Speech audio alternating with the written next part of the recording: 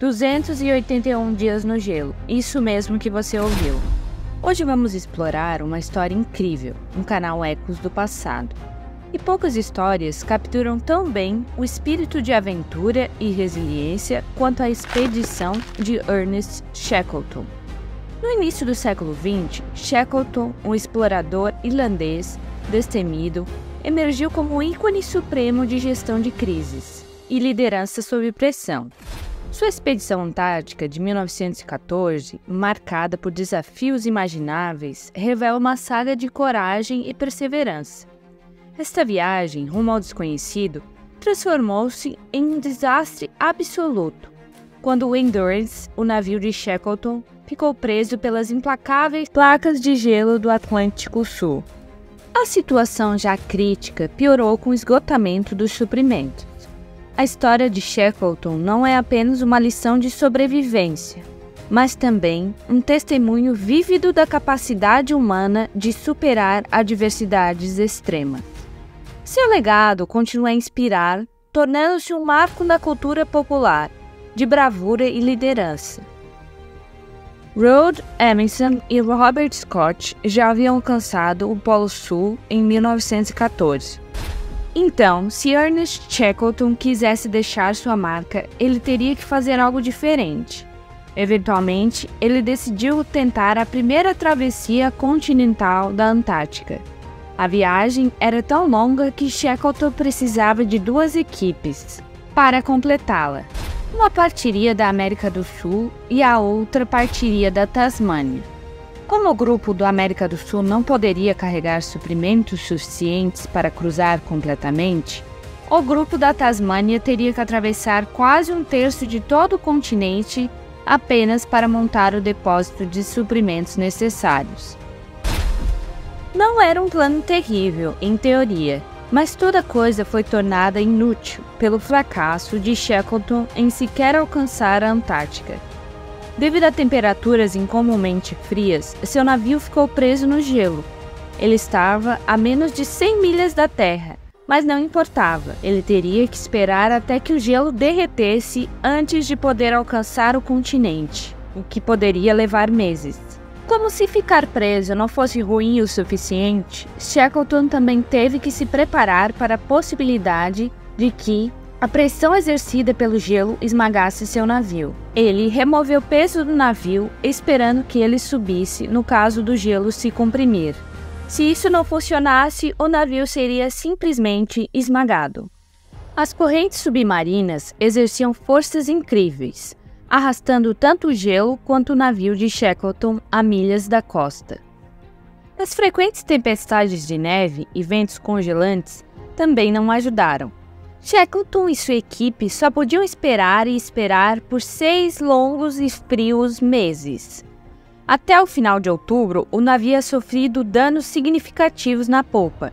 Dentro de alguns dias, ficou óbvio que o Endurance não iria resistir. Em 27 de outubro, Shackleton finalmente deu a ordem para abandonar o navio. Com a perda do Endurance, qualquer esperança de completar a missão original também se foi. O único foco de Shackleton era levar seus homens de volta à civilização. E não seria fácil. O navio estava à deriva há 281 dias. A equipe estava a cerca de 350 milhas da ilha remota Paulette, o posto mais próximo que poderia fornecer abrigo e suprimentos.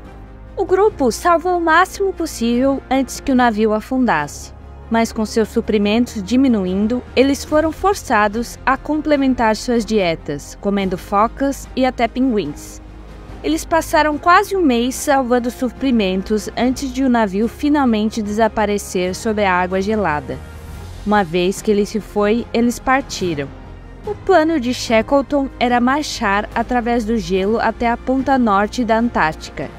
E se o gelo se partisse, eles usariam os botes salva-vidas que salvaram do Endurance.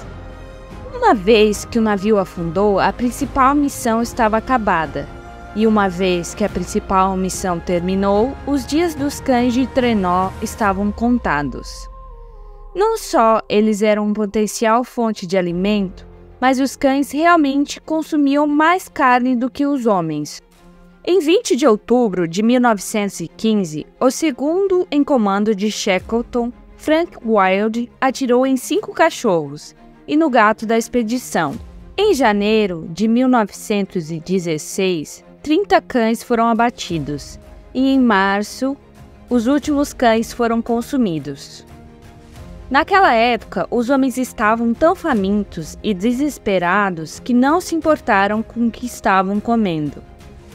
Frank Wilde comentaria mais tarde: Conheci muitos homens que eu preferiria ter atirado do que esses cães. Shackleton e sua equipe começaram indo para o norte, através das placas de gelo, mas sua rota exata estava limitada pelo gelo e pelas condições climáticas.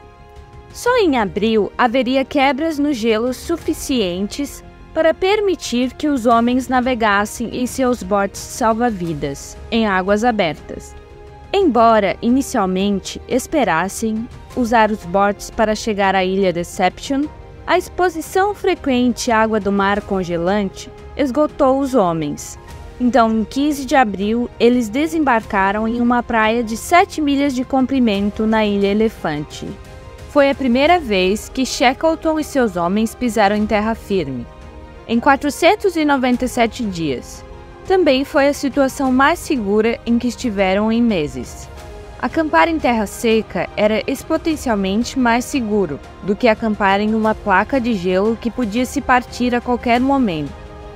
Após avaliar a situação, Shackleton finalmente concluiu que a única maneira de salvar seus homens seriam alcançar a ilha Georgia do Sul e retornar com ajuda. Infelizmente, a ilha estava a mais de 900 milhas de distância, atravessando alguns dos oceanos mais turbulentos da Terra, e tudo que Shackleton tinha era um bote salva-vidas de 20 pés de comprimento. Com isso, se não fosse difícil o suficiente, encontrar o pequeno posto que media apenas 100 milhas de comprimento exigiria uma navegação exata usando apenas o cronômetro e o sextante. O bote foi equipado com um mastro e carregado com suprimentos suficientes para um mês. Por que apenas um mês? Bem, Shackleton raciocinou que até então ele deveria ter tido sucesso ou morrido. O bote de Shackleton viajou cerca de 60 milhas por dia e os marinheiros rapidamente ficaram encharcados pelas águas turbulentas. Eles passariam as próximas semanas molhados e com a pele continuamente irritada pela água do mar. No quinto dia, foram atingidos por um vendaval poderoso que ameaçou virar o bote e trouxe temperaturas frias que congelaram a água no bar em camadas pesadas. Esse gelo precisava ser constantemente retirado e qualquer peso extra, incluindo sacos de dormir congelados e remos extras, tinham que ser jogados ao mar para manter a velocidade. O sol apareceu no sétimo dia, quando eles já tinham percorrido cerca de 350 milhas.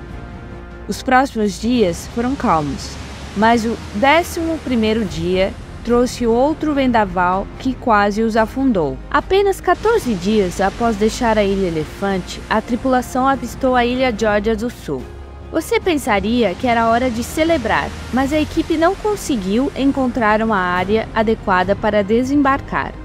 Então tiveram que passar mais uma noite enfrentando condições de furacão em seu pequeno bote. No dia seguinte, eles desembarcaram na Baía do Rei Hakon, mas o calvário ainda não havia terminado. A baía ficava no lado sul não habitado da ilha, com o leme quebrado e o bote vazando, a equipe não achava que conseguiria alcançar o outro lado da ilha de barco. Em vez disso, teriam que atravessar a pé. Isso significava uma jornada sem precedentes, que exigiria atravessar rochas, gelo e geleiras, que alcançavam cerca de 1.524 metros de altitude. Tudo em neve profunda, mas eles não tinham escolha. Três dos homens estavam fracos demais para fazer a viagem. Então, Shackleton levou outros dois com ele e deixou os demais na baía. Eles levariam comida para três dias e colocaram parafusos no fundo das suas botas desgastadas para tração e deixaram para trás os sacos de dormir. O destino deles era a estação baleeira de Stormrest. O único problema era que Shackleton não tinha estado lá em dois anos e não tinha certeza se a estação ainda estava habitada. Mesmo assim, o trio partiu em 19 de maio, às duas da manhã, sobre a luz da lua cheia. Eles passaram a maior parte do primeiro dia se perdendo entre as geleiras e tiveram que retraçar seus passos. Finalmente decidiram escapar da alta altitude, deslizando pela encosta íngreme, amarrados juntos. Funcionou, mas ainda tiveram que superar outra geleira de 610 metros e uma cachoeira de 7 metros, antes de chegar aos arredores de Stormness. Após meses de provações, os três homens não estavam com uma aparência muito boa. As roupas estavam sujas e esfarrapadas, e todos os três tinham cabelos e barbas longos. Quando encontraram duas crianças a caminho da estação, receberam uma resposta divertida. Shackleton perguntou às crianças pelo gerente da estação pelo nome. Então, as crianças ficaram com medo e correram na direção oposta. Quando Shackleton finalmente encontrou o chefe da estação, o homem não tinha ideia de quem ele era, apesar de terem se encontrado antes. Os três homens que Shackleton deixou para trás na Bahia foram rapidamente resgatados por um navio baleeiro de Stormers. Mas resgatar os outros 22 homens que ficaram para trás na Ilha Elefante seria muito mais difícil. Com a Primeira Guerra Mundial em andamento, o governo britânico não tinha muitos recursos disponíveis. Shackleton tentou alcançar a Ilha Elefante em um navio baleeiro, mas teve que voltar quando encontrou uma barreira de gelo sólido. Ele tentou e falhou mais três vezes. Finalmente, o governo chileno interviu e forneceu um pequeno rebocador, chamado Yelp. E cinco dias depois, quando os 22 homens na Ilha Elefante estavam se preparando para um almoço de peito de pinguim e ossos de foca cozidos, o Yelko chegou. Os homens viram o Yelko baixar um barco menor na água. Conforme se aproximava, ficou claro quem estava dirigindo. Ernest Shackleton. Ao se aproximar, ele gritou: Todos bem? Frank Wilde respondeu a ele: Todos seguros. Tudo está bem. Em uma hora, todos os 22 homens estavam a caminho de volta a Punta Arenas, Chile, em segurança.